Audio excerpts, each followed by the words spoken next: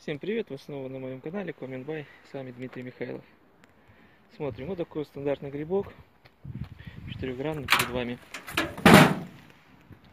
Видим, да? С виду это обычный грибок, но необычный. На твердотопливных котлах и все, что топится на дровах, на угле, э, вы обращали внимание, что вот здесь вот выгорает на месте, выгорает полностью вот эта верхняя часть и приходится менять. Для того, чтобы этого не было,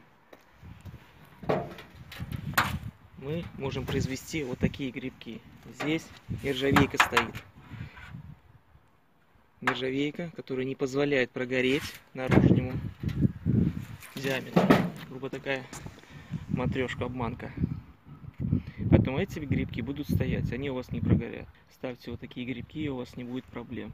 Да, это довольно дорогая, дорогое изделие, в несколько раз дороже, чем обычный грибок. Но поверьте, он будет работать. Вот как он выглядит. Все. С вами был Дмитрий Михайлов, магазин дымоходов Коминбай. Подписывайтесь на мой канал. Пока.